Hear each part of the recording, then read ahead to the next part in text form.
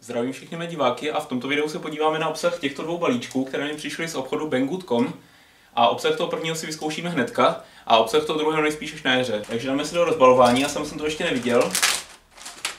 Tak po menším střihu se dostáváme na stůl a krabičku si otevřem.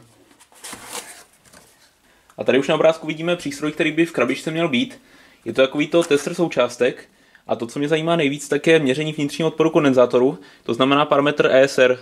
Já jsem úplně nechtěl takový ten hodně univerzální tester, který umí změřit naprosto všechno, protože jsem se bál, že bych zlenivěl a že bych se odnaučil používat multimetr. A tak jsem chtěl jenom toto kvůli tomu odporu kondenzátoru. Takže tady máme nějaké kabely, takto z banánky a s těmato sondama. Já si myslím, že to bude podobný systém jako na oscilloskopu, tedy háček. Tak a vidíme, že tady je háček. Jak jsem říkal, je to podobný jako u oscilloskopu. Tyto sondy tady jsou tři. Pak je tady takováto redukce na patici. Tady na ní je v podstatě jenom patice a nějaké spojení, nic dalšího. A pak už je tady v bublinkové folii, doufám, samotný měřící přístroj. Tady pak vidíte na internetové stránce přímo ten produkt. Vidíte, že eh, teďka 20.12.2018 stojí nějakých 688 korun. A tady teda máte popsaný, co všechno by měl umět a co je k němu přibalené.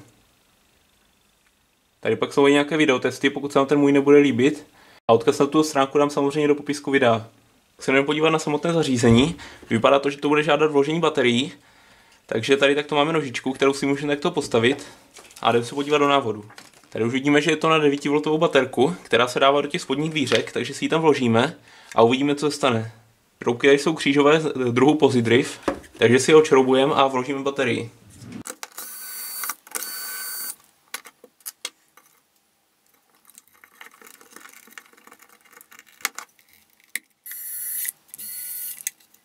Tady pak máme návod, jak testovat jednotlivé součástky. Tady máme triak, dioda, rezistor, dva rezistory, cívka. Pak tady máme NPN tranzistor, PNP tranzistor. Pak tady máme nějaké ty unipolární tranzistory, tyristor a kondenzátor. Mě zajímá ten kondenzátor. Tak si vezmeme úplně nový elektrolytický kondenzátor s certifikací nízkého ESR odporu a zkusíme si ho změřit. Takže tady připojíme takto do toho DUT podle návodu a plus dáme nejspíš na plus a pak zkusíme minus dát na minus. Respektive žlutý na minus. Protože tady píšu, že to máme pin 1 a 3.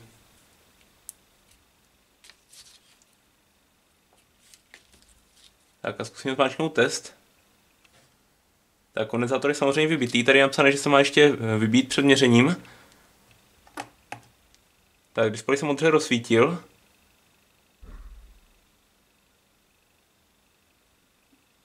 Baterie 8,6 V je OK a VCC je 4,97 V. To bude asi napětí za nějakým stabilizátorem vevnitř. Tak a vidíme, že kondenzátor má 47,72 mikrofaradů a sériový odpor je 0,42 ohmů a kondenzátor by měl mít 47 mikrofaradů, takže má trošku víc, je to ještě v toleranci. Pak je tady VLOS, nějaká ztráta, což je 0,6%. A zkusíme nějaké kondenzátory, které jsem tady nahromadil s tím, že asi budou špatné. Takže asi na začátek úplný extrém, což je tento vybuchlý elektrolytický kondenzátor. Měřil jsem ho normálním multimetrem, měl kapacitu nějakých 30 nanofaradů, tak si to zkusíme změřit tady. Takže vybijem si kondenzátor, i když asi tam nic nebude. A zkusíme ho změřit a vidíme, že tady je napsané 191 nanofaradů a ESR odpor je 40 ohmů, takže tento kondenzátor můžu vyhodit, protože je úplně k ničemu, už jak víme podle pohledu. A jdeme si zkusit další. Tento je už jenom lehce nafouklý, nicméně ještě teoreticky nějakou kapacitu bude mít, tak si ho změříme. Tak opět vybít, než tam připojíme i druhou sondu, kdyby náhodou. Ono už mě tady leží nějaký pátek, takže asi to vybitý bude, ale pro jistotu. 74 mikrofaradů, nebo ono to je kolísa, 74 mikrofaradů a ESR 0,14 kΩ. Což znamená nějakých asi 140 ohmů, což už je špatný. Kondenzátor by měl mít 22 mikrofaradů, nicméně podle toho odporu už vidím, že kondenzátor je špatný.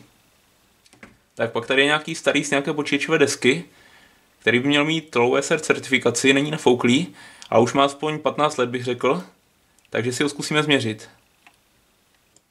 Tak a má 1633 mikrofaradů a vnitřní odpor pořád jenom 0,05 ohmů a měl by mít 1500, takže je v pořádku. I když je teda hodně starý, ale je z počítačové desky, kam se asi dává kvalita. A tady ten kondenzátor už je špatný, ten jsem vytáhl z nějakého zdroje, který asi blikal.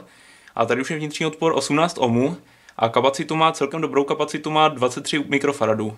S tím, že má mít 22, takže to je právě to, co odlišuje funkční a rozbitý kondenzátor, že pokud není vyloženě vybouchlej, tak tu kapacitu většinou má, ale už má velký vnitřní odpor, takže je pro obvod nepoužitelný. Tak vyzkoušíme si něco dalšího, když už to tady máme. Musíme nějakou trojpinovou součástku, ať vyzkoušíme i tuhle patici.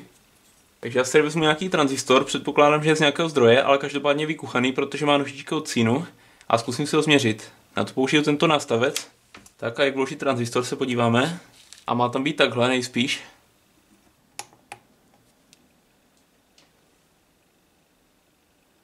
A tady teďka máme, že je to BET NPN tranzistor.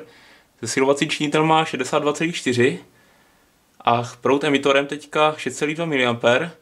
A piny tady máme, že první je emitor, druhý je kolektor a třetí je báze. Takže takhle nám to tady otestovalo NPN tranzistor. Ještě bych zkusil změřit nějakou SMD součástku, takže si ji tady dáme na podložku pro SMDčka a budeme doufat, že všechno bude mít kontakt. Takže mi tady asi něco nedolíhá. Takže teda test SMD součástky se nepovedl. Já nevím, jestli je v pořádku, tak si zkusím ještě přes drátky připojit.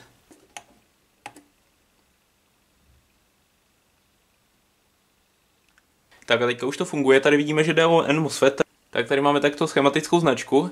Vidíme, že jednička je teda gate, to mám tady, pak eh, dvojka je drain, to mám tady, to je ten prostředek, a trojka je source.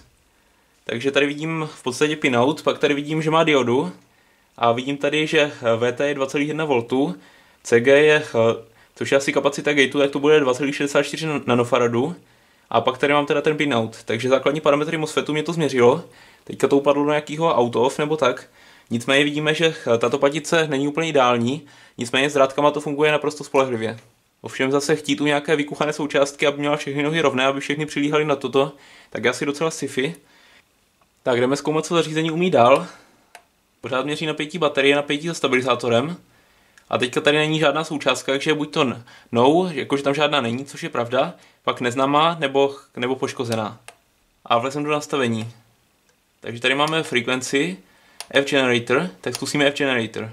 Takže tady vidíme takový obdelník, je otázka, jak moc je to rušený tady od světel a jak moc je to rušený už výstupu. Tak si je pozasínáme.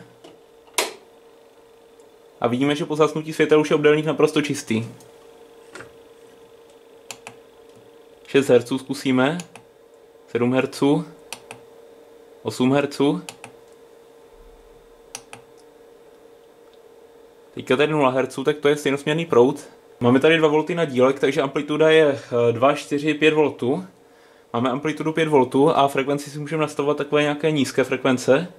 Asi by tam šla nějaká vyšší, ale teďka nevím jak. Takhle teďka podržením se vrátím do selection.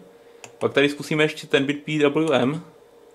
A tady teďka máme takto 50% střídu. Už asi můžeme rozsvítit, i když to bude trošku zarušeně tomu osciloskopu. Takže teďka tady střída 50%. 51%. Vidíme, že se to posouvá. Teďka už jsem se naklikal takto 73%. Akorát je nešikovný, že to musíte ovládat jedním tlačítkem. Jinak tady takto máte teda PVM. To rušení je tam od světel. Proč tady mám takto nechráněný kabely? 99%, 0%, 1%. Takže tady jak to můžete vidět PVM signál.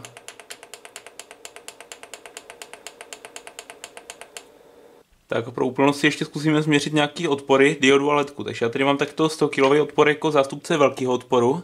A pak tady mám 15 ohmový odpor jako zástupce malého odporu. A pak tady mám teďka takový dvě antisériové zapojené diody s kondenzátorem. A pak tady mám šotky diodu ze zdroje. Takže, takže zkusíme zapojit eh, malý odpor, nejdřív 15 ohmový. Teďka nevím, který nohy, takže vyzkoušíme s těma to, jestli to něco změří. A změřilo 14,7 ohmů jako rezistor mezi jedničkou a trojkou. Zkusíme 100 kV odpor. A vidíme, že má 98,37 kΩ. Teďka si tady vyzkoušíme šotkyho diodu. Tak a vidíme, že je to dioda UF 200 mV, takže Schottkyho, jak jsem říkal. Kapacita v zájemném směru je 0,61 nanofaradu.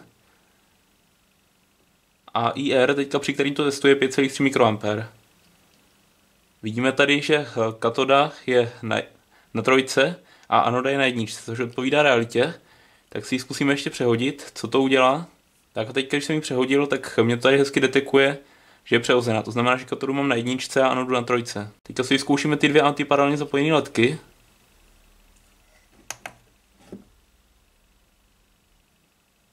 Tak vidíme, že si oběma zablikal.